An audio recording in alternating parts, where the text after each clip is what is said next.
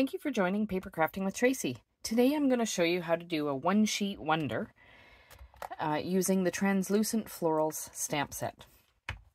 So I've played around with this. Um, we went to a team meeting and this is what we had made uh, using the inspirational sketches.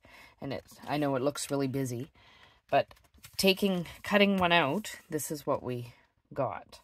So it was just putting all kinds of stamps all over this. So I wanted to do a little bit of a different take on that. And I started with the Daisy stamp set. And I got these four cards out of it. Okay, and these all come together. Um, you can kind of match them up a little bit. And it would have been something along the lines of, of like that. Okay, so that was one. Then I just took some other stamp sets that I thought, okay, what could I do with this? So these were four more that I did. And then just recently using the Lighting the Way, I did a class on doing this one. Okay, so lots of variations. So this time I'm going to do it with the translucent florals. So what you do is you start with a just a eight and a half by 11 piece of paper. I'll just move this out of the way. and I'll make sure that's in my view there. And all you're going to do is think about how you want to situate it on the paper so that I'm going to cut it into four um, card fronts. So what I'm going to start with is taking some of um, the leaves here and I'm using Granny Apple Green. So I'll just ink it up. And what I like about this stamp set is it, just the outer edges are what's dark. Okay. So I'm going to maybe do something like that. I will. And thinking about this is going to get cut up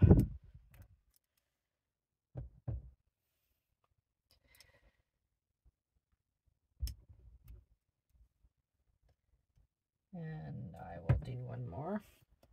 And because I know it's going to get cut, I'm not going to go too close to the edge because I'm going to have to cut this down to, to fit on my card. Okay, I'm not too worried that that one didn't come all the way through. Because I'm going to be, you'll see, this just builds. So I'm going to also use some Berry Burst with the flowers. And we'll just start putting them in, in places.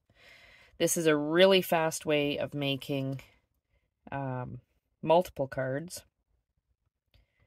Uh, let's go maybe something. I'm just going to get a piece of card under here or paper under here just so that I don't uh, get it all over my, my card. I keep a lot of scrap backings. You can see where I've done this before. I want one kind of up here. And obviously I missed a little bit of that, but that's okay. Most of that's going to get cut off. Uh, and I'm okay with it layering.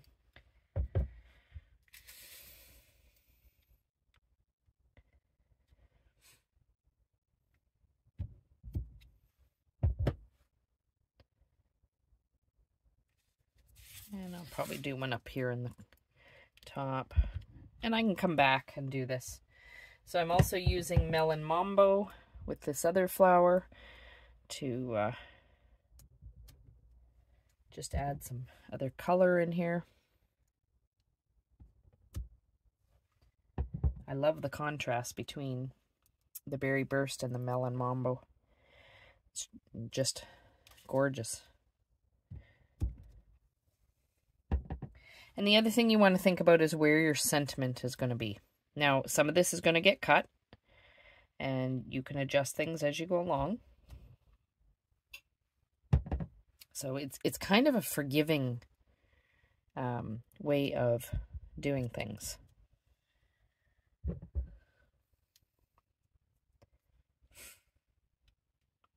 Probably stick one in there. And then uh, in case you haven't seen some of the new in colors, we have Petunia Pop. And that seems to go along with this. And I'm going to put in some smaller leaves in here just to fill in some of these blanks spots here.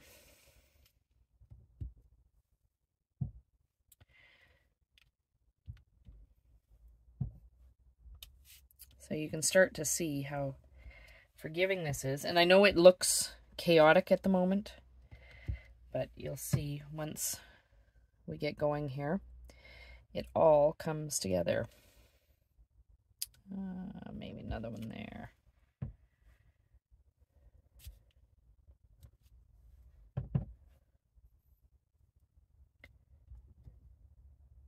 Okay, and we'll use some of this new Petunia Pop in here.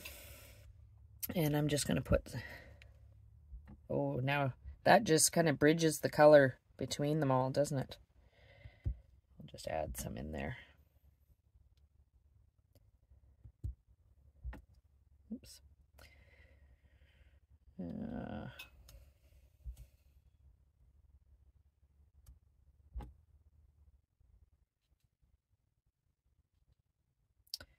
where else do I want to go? Maybe in here.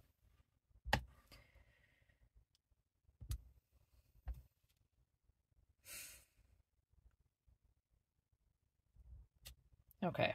I think I'll stop at that right now. I mean, I could keep going, uh, but you'll get the idea. Okay, so now what you're going to do is get your cutter out. And what I tend to do is I just cut it straight in half first. So that'll be your five and a half. And then four and a quarter. And you can see how that's already starting to give you an idea how this is going to work.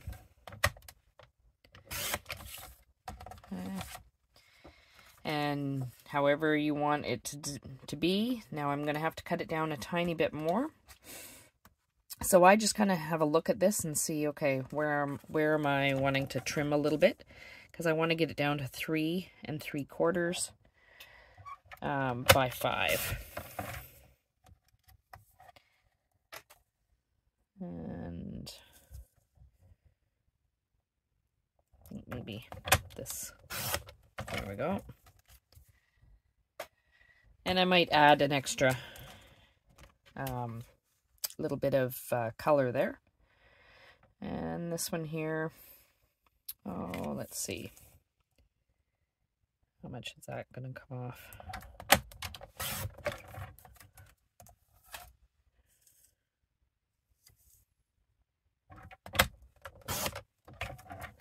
Because don't forget, you'll also be putting sentiments on there.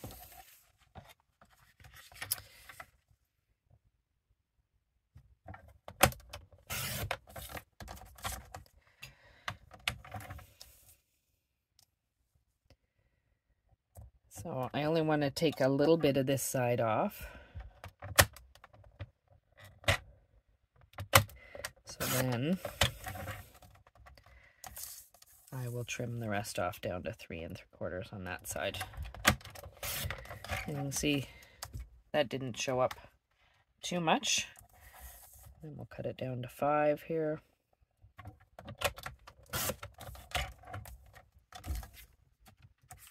And the final one.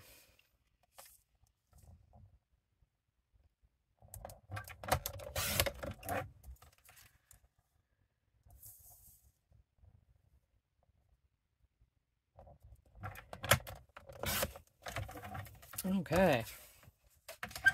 So we'll get our trimmer out of the way. so we'll just get these kind of lined up. I might just use a little bit of uh, Melon Mambo maybe. Um, where's... No, I think Petunia Pop I'll put on the, the end there just to fill that in a tiny bit. Just add a little bit there. So that filled that in. I'm happy with those. And that one. Actually, I'm I'm happy. Maybe I'll put uh, uh, an extra melon mambo in that one. Right in here. And then an extra leaf.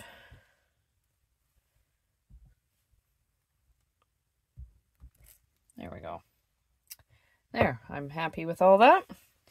So now we're just going to just make sure I got things out of the way. I've got some um, Berry Burst cardstock here that I will adhere them all to. So we'll just get my tape runner here. Oh, before I do that, sorry, we need to put a sentiment on. So I will just use a variety of these. So that I've got uh, sentiments for all or uh, cards for all occasions. And I'm probably going to use the Berry Burst uh, just to make it pop. Okay, this one has got a bigger area, so we'll just make sure I'm straight here. There we go. So there's that sentiment. Actually, there's four sentiments in this, so that's perfect. I will use congratulations for another one. Let's see. maybe this one. Oops, didn't quite fully ink that. Make sure everything's lined up.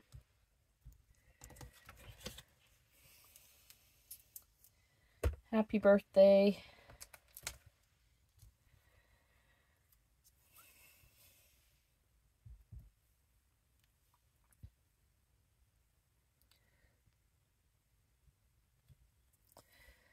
And finally, you're the best. And if you have um, embellishments and stuff, you can add all that. Uh,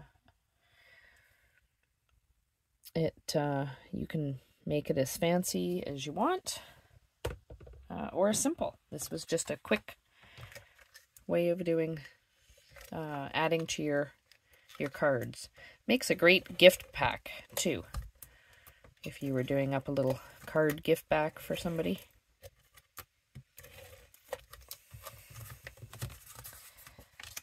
You could do like a matching box that goes with whatever your color theme is.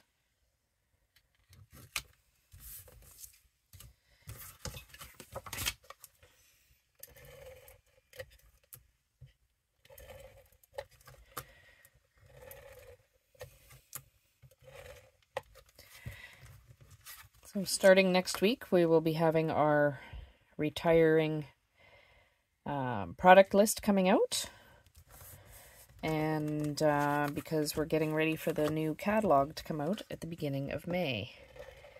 And like I said, the Petunia Pop is one of the new colors. For those of you that are familiar with Stampin' Up! and have been doing it for a while, I'm happy to see that Pretty in Pink is coming back. And then we have some more exciting in colors coming too. Uh, something called um, uh, Summer Splash, which is a almost like a turquoisey color uh, Shy Shamrock, and Peach Pie. So you'll start seeing more and more of stuff with that. Okay, but um, there's a last chance product list coming out uh, as of April 2nd. So if you click on the link to my website, you can purchase things at a discount before they're gone. Because once they're gone, they're gone. And I'm just going to use um, white cardstock, just basic thick cardstock. Sorry, I'm getting over a cold, which is why I couldn't uh, do a proper video last week. Come back into the view here. Sorry about that.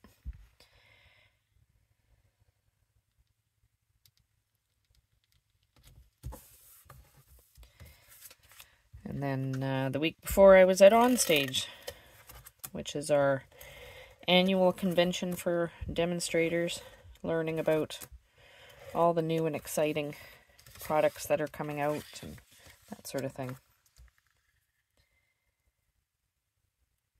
And I'm happy to say this translucent floral stamp set is carrying through. So it will be available in the new catalog as well.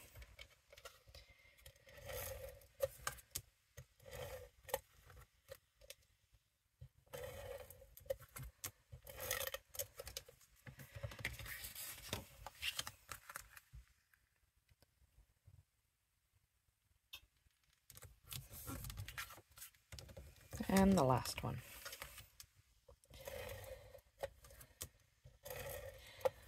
Now you've seen me use the brass butterflies before.